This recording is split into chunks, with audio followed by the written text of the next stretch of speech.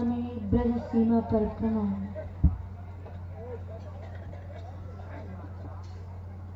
मान मंदिर बरसाना 2011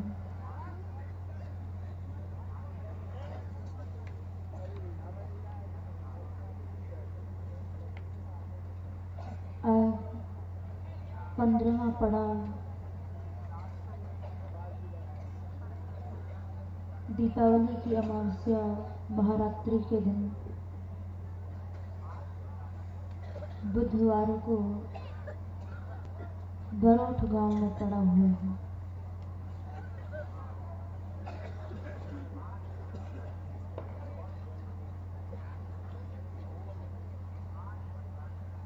प्रातःकाल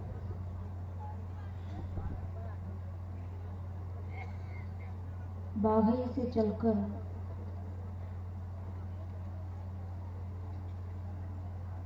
भूतगढ़ी होते हुए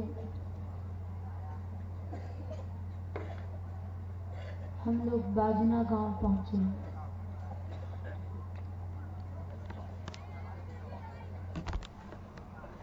उसके बाद तारसाली सलाका होते हुए यहाँ आए।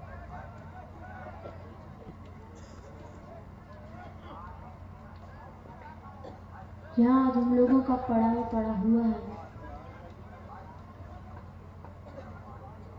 ये सारा क्षेत्र बाजना के अंतर्गत आता है।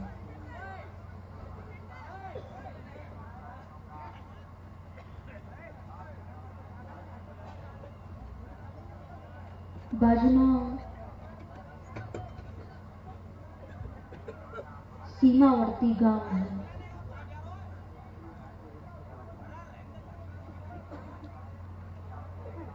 बाजने गाँव का अपने आप में एक बहुत बड़ा इतिहास है।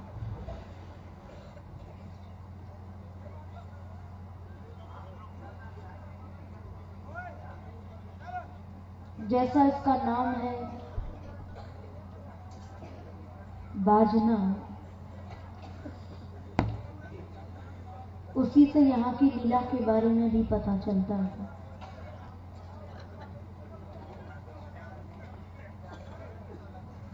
बाजना में ग्वाल वालों के साथ श्री कृष्ण की अनेकों संगीत गोष्ठियाँ हुई थी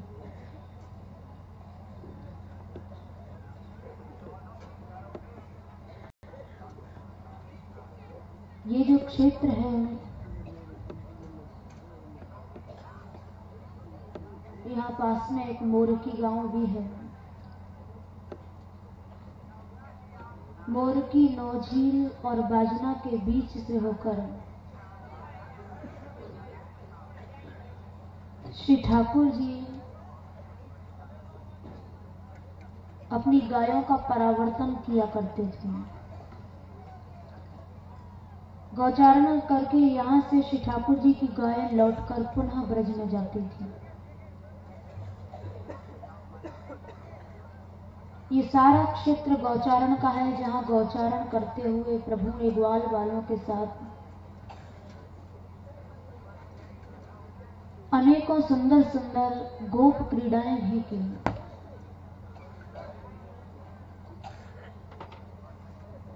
इस क्षेत्र में जो जो भी बड़ी बड़ी संगीत गोष्ठियाँ हुई हैं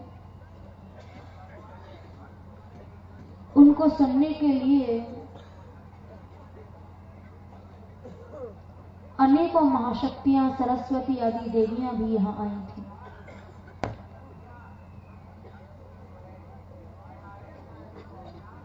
ब्रज में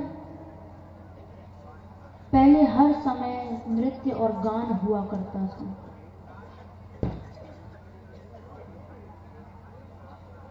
नृत्य और गान से ही ब्रज की पहचान है।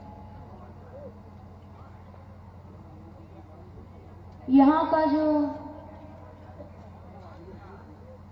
रसमय नृत्य था, रसमय गान था, उस नृत्य और गान की याद श्री ठाकुर जी ने मथुरा द्वारिका की लीलाओं में भी याद की है।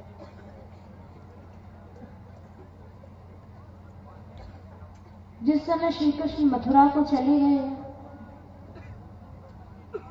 तो वहाँ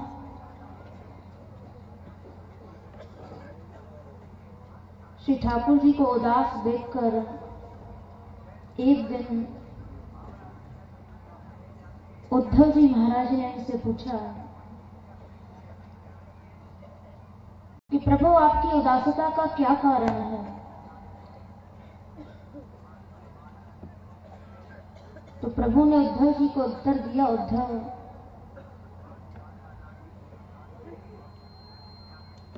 ब्रज का राग रंग मेरे से भुलाया नहीं जाता जहाँ ब्रज में हम गौचारण करते हुए भी नाचते थे, गाते थे, प्रभु ने उद्धव जी को कहा है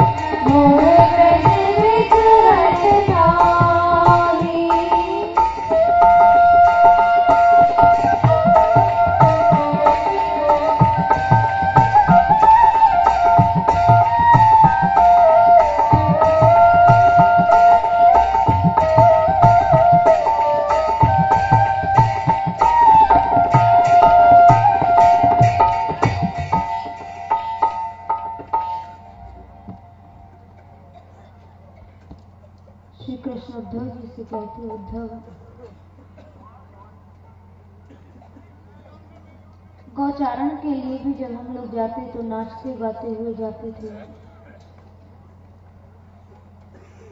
ये मथुरा द्वारिका तो मुझे जेल की तरह लगती है। ब्रज में ग्वाल बालों के साथ जो हमने जगह जगह संगीत गोष्ठियाँ की उद्धव रह रहकर मुझे उनकी याद आती है।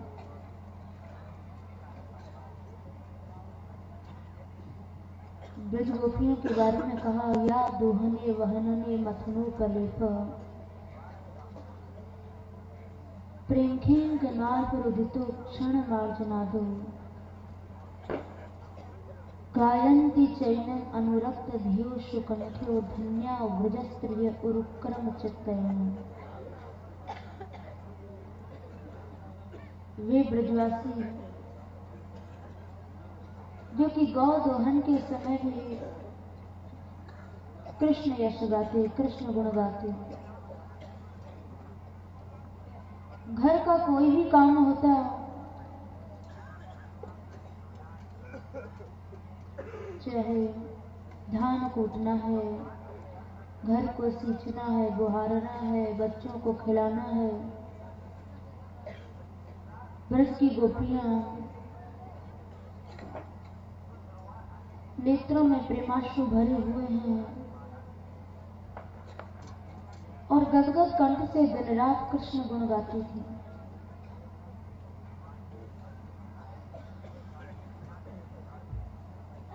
तो हर एक ब्रजवासी जो कि एक क्षण भी बिना कृष्ण कीर्तन बिना कृष्ण चर्चा के रह नहीं सकते थे। उन ब्रजवासियों के कारण ही श्री ठाकुर जी ने जगह जगह ब्रज में संगीत गोष्ठियाँ ये क्षेत्र भी संगीत गोष्ठी का एक प्रधान क्षेत्र माना जाता है। यहाँ जब श्री कृष्ण ने संगीत गोष्ठी की। तो अनेकों देवता अपने अपने टोलों को साथ लेकर उनकी गोष्ठी में शामिल होने के लिए आए। बड़े बड़े देवता। इंद्र अपना टोल अलग लेकर आए ब्रह्मा जी, सरस्वती आदि को साथ लेकर आए शिव जी भगवती दुर्गा गणेश जी को साथ लेकर आए। और यहाँ जब श्री कृष्ण ने गोष्ठी की, जिन श्री कृष्ण के बारे में कहा गया, रंगे यथा नट वरऊ क्वच गायमान। है श्री कृष्ण ब्रज में एक श्रेष्ठ नट की तरह नाचते और गाते थे। उनसे बड़ा न कोई नृत्यकार ही हुआ, न कोई गायक ही हुआ। भागवत जी में जगह जगह संगीत गोष्ठियों की चर्चा हुई युगल गीत में आता है, सवर्ण शक तदोपधार सुरेशा, शक्र सर्व परमेष्ठी पुरोगा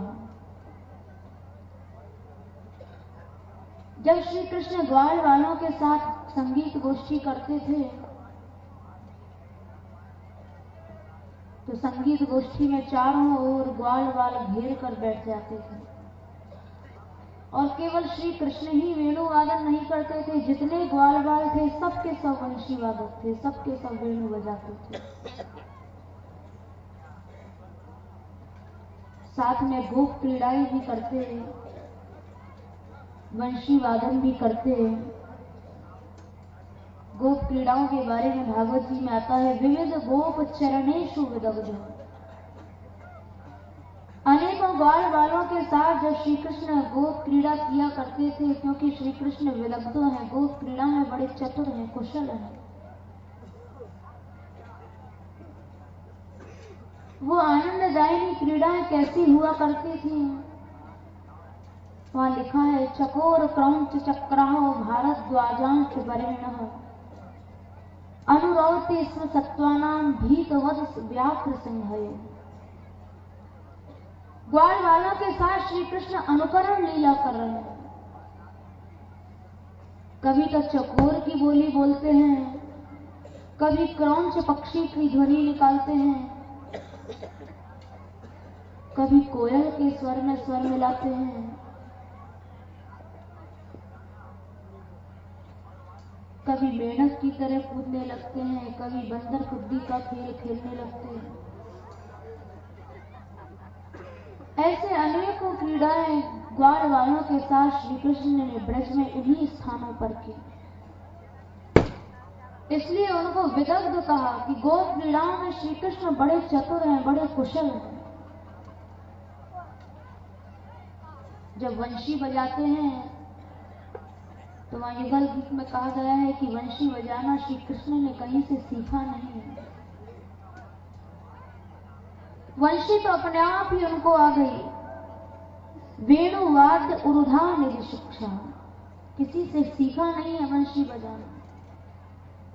लेकिन जब वंशी को हाथ में लेते हैं और उसमें स्वर की जातियों का विस्तार करते हैं तो उस समय शक्र माने इंद्र शर्म माने शिव, परमेश्वरी ब्रह्मा ये सब के सब अपने टोलों के साथ आकर कृष्ण के वेणु वादन को सुनते हैं। उसको सुनते हैं, लेकिन पहचान नहीं पाते हैं, अनिश्चित तत्व ये नहीं जान पाते हैं कि कौन सा राग है, कौन सी ताल है। जड़ की भांति खड़े रह जाते हैं सम्मोहित से हो जाते हैं। ग्वाल वाल भी श्री कृष्ण के इस वेणु वादन की बड़ी प्रशंसा करते हैं। भागवत जी में जगह जगह संगीत गोष्ठी का वर्णन आया, केचित वेणु वादयंतो धमांत शनवाणी केचन। कहते हैं कि केवल श्री कृष्ण ही वंशी नहीं बजा रहे हैं धमांता माने अनेकों गौर वाल वंशी बजा रहे हैं। और पानी तलई ताली बजा बजाकर श्री कृष्ण को ताल दे रहे हैं। श्रृंगई कोई सींगी बजा रहा है। जिस स्वर में श्री कृष्ण वंशी बजा रहे हैं, उसी स्वर से ग्वाल बाल सीढ़ी बजा रहे हैं। कहीं से कोयल बोल उठी तो ग्वाल वाल ऐसे गायक हैं कि कोयल के स्वर से ही अनेकों रागों की जातियाँ पैदा कर देते हैं। कहीं से भौरे गूंज उठे तो भौरों के स्वर से ही अनेकों जातियों का निर्माण कर देते हैं। ऐसे गायक संसार में हर जगह नहीं मिलते हैं। संसार में ऐसे गायक हैं ही नहीं। और श्री ठाकुर जी तो जैसी वंशी बजाते हैं ग्वाल बाल भी उनकी वेणु वादन की प्रशंसा करते हैं। श्री कृष्ण कैसी वंशी बजाते हैं ग्वाल बाल कहते हैं कि, देखो, हमारी कन्हैया के बराबर वंशी संसार में दूसरा कोई भी नहीं बजा सकता। संसार में कोई क्या बजाएगा जब ब्रह्मा, शंकर, इंद्र, सरस्वती, गणेश, ये सब अपनी अपनी ग्रीवाओं को नीचे करके खड़े हुए हैं, समझ नहीं पा रहे हैं, क्या राग है, कौन सी ताल है तो फिर संसार में भला कोई ऐसा वेणु वादन कैसे कर सकता? इसी बात को सूरदास जी ने अपने पद में लिखा। है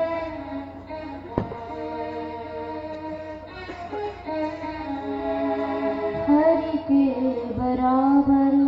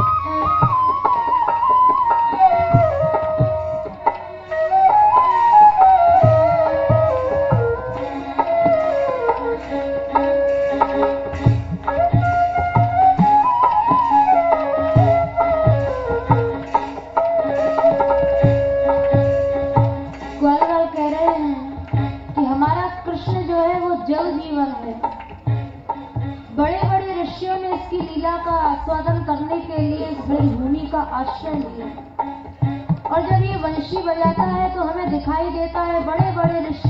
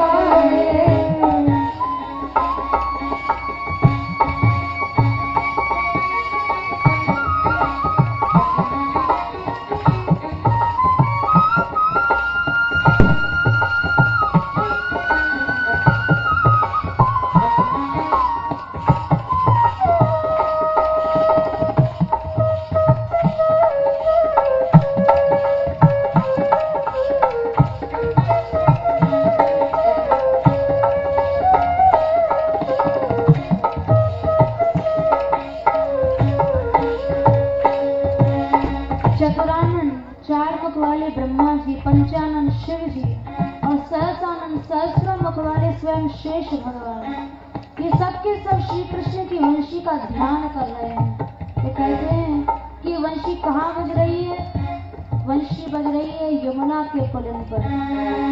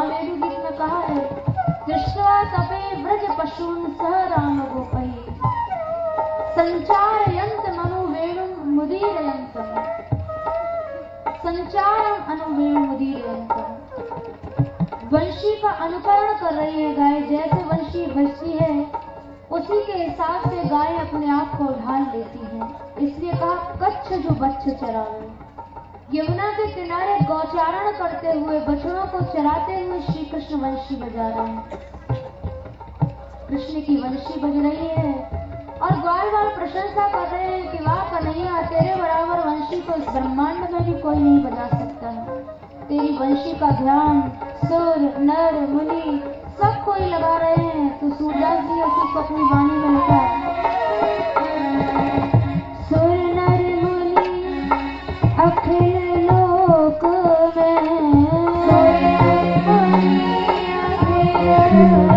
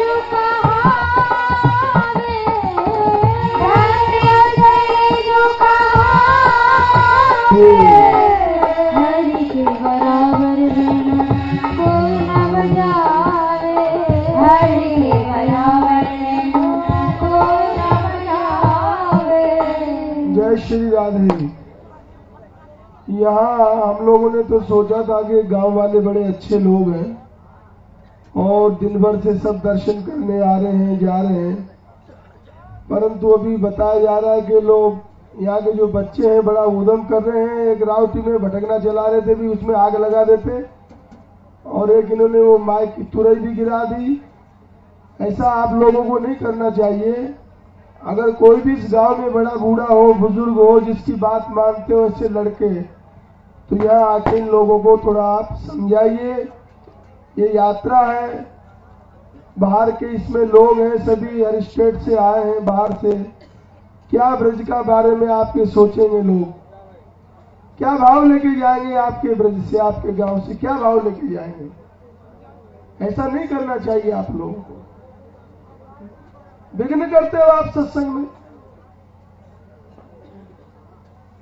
ऐसा तो नहीं सोचा था हमने कि ऐसा गाँव है। चलो बोलो।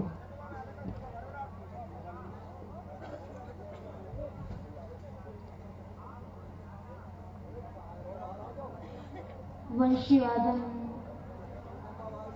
नृत्य आदि को लेकर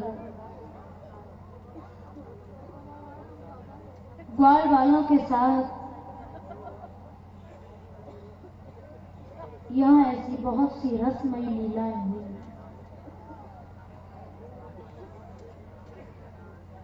और भी उनकी संगीत गोष्ठी के अनेकों महापुरुषों के पद हैं। जैसे सूरदास जी ने कहा, रीझत ग्वाल रिझावत शाम ठाकुर जी वंशी बजा रहे हैं, ग्वाल वालों को रिझा रहे हैं। मुरली बजावत सखन बुलावत, सुबल सुदामा ले लेना। वंशी बजाने में श्री कृष्ण ऐसे विदग्ध हैं, ऐसे चतुर हैं कि अगर किसी सखा को बुलाना होता है तो वंशी में ही उसका नाम लेते हैं। कभी सुबल को बुलाते हैं, कभी सुदामा को बुलाते हैं, कभी तोष को बुलाते हैं श्री रामा को बुलाते हैं। ग्वाल वाल भी देखकर बड़े प्रसन्न हो रहे हैं कि कन्हैया वंशी में हमारा नाम गा रहा है, हमारा नाम ले रहा है हसत सखा सब तारी, दे दे नाम हमारो मुरली लेत ग्वालवाल कहते, अरे कृष्ण, तेरी वंशी में ऐसा क्या जादू है? तूने अपनी वंशी को ऐसा क्या पढ़ा लिखा रखा है, जो तेरी वंशी हमारा नाम भी जानती है? तो ठाकुर जी ने वंशी को ग्वाल वालों के हाथ में दे दिया कि, तुम भी बजा कर देखो, जरा तुम भी मेरा नाम निकाल के देखो। श्याम कहत, अब तुमहु बुलाओ, अपने करते ग्वालन देख। मुरली ले ले सब ही बजावे, काहू पे नहीं आवे रूप। सूर श्याम, तुमरे मुख बाजत, कैसे देखो राग अनूप? ग्वालवाल वंशी लेकर बजाने लगे तो ग्वाल वालों से तो श्री कृष्ण का नाम निकला ही नहीं, बोले, कन्हैया, तेरी वंशी तो तेरे से ही बजेगी, हम तेरी वंशी में तेरा नाम नहीं ले सकते तू ही बजा के देखा फिर श्री कृष्ण ने वंशी बजाई। रीझत ग्वाल रिझावत श्याम श्याम सुंदर ऐसे वंशी वादन करके वंशी बजा बजा कर ग्वाल वालों को रिझा रहे तो ये जो वेणु वादन की लीला थी, ये यही बाजना क्षेत्र में हुई। यहाँ के जितने भी सब गाँव हैं, ये सब सीमावर्ती गाँव हैं चाहे वो पारसौली है, भूतगढ़ी है, सलाका है बरौट है, ये सब बाजना क्षेत्र के अंतर्गत आते हैं। जहाँ श्री कृष्ण की ऐसी ऐसी संगीत गोष्ठियाँ हुई, जहाँ स्वयं ब्रह्मा, शिव, लक्ष्मी सब के सब अपने अपने टोल अपने अपने समूहों के साथ आए। श्री जी ने कृपा की, महारात्रि के शुभ अवसर पर हम लोगों को यहाँ आज रात्रि वास किया। क्योंकि आज दिवाली भी है श्री जी इस त्योहार को, इस पर्व को किस प्रकार से मनाती हैं, इसका भी वर्णन सुन लो।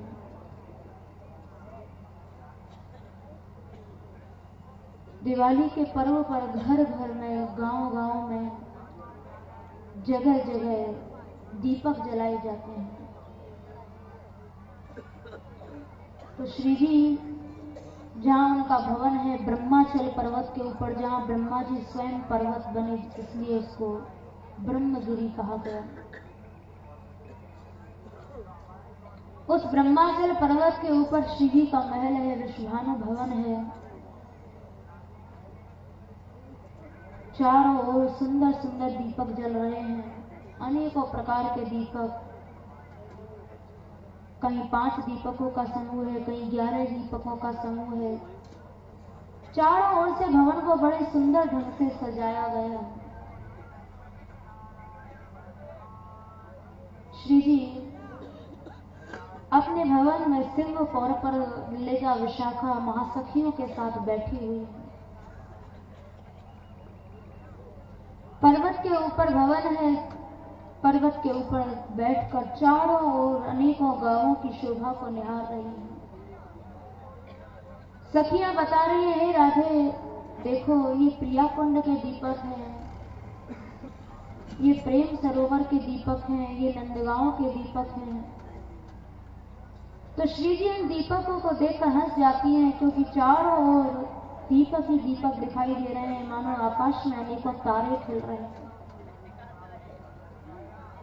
सखियाँ, श्री जी को दीपक दिखाने लगती हैं। श्री जी समझ जाती हैं कि सखियाँ मुझे प्रसन्न करने के लिए ये सब लीलाएँ कर रही हैं। तो सखियाँ, जब श्री जी को बताने लगी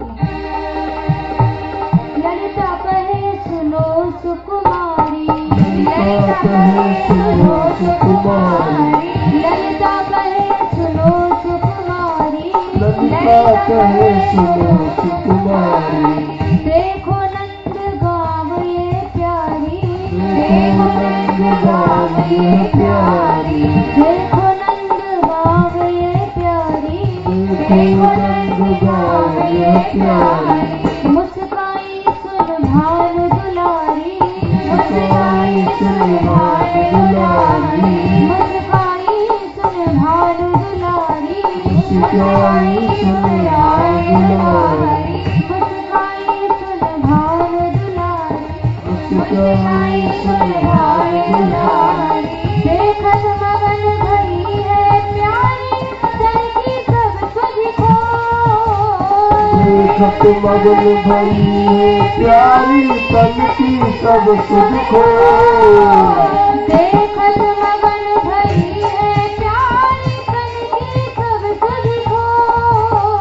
देखत मगन भई है प्यारी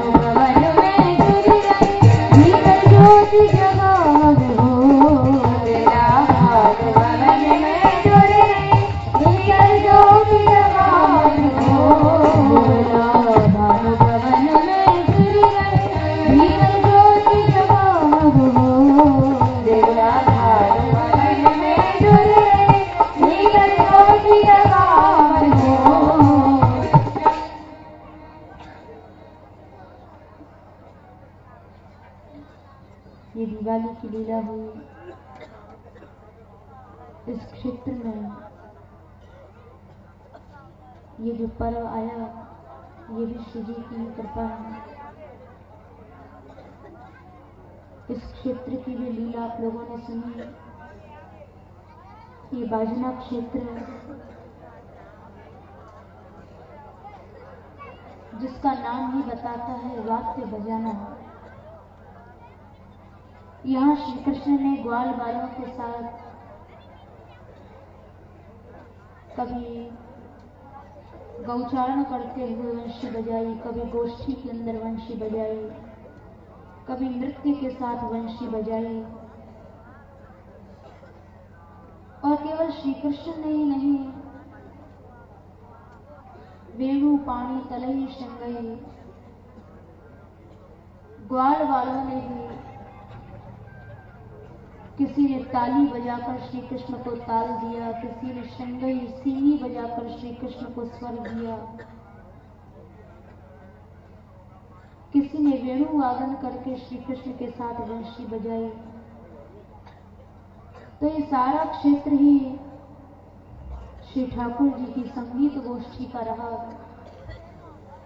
यहाँ प्रभु ने ग्वाल वालों के साथ अनेकों वाद्य बजाए, जिससे इस क्षेत्र का नाम बाजना हुआ और जहाँ हम लोग बैठे हुए हैं, सलाका और बरौट गाँव के मध्य में, ये सारा क्षेत्र बाजना क्षेत्र के अंतर्गत ही आता है। इसलिए आप लोगों को बाजना क्षेत्र की लीला सुनाई अब अंत में दो मिनट सुनते हैं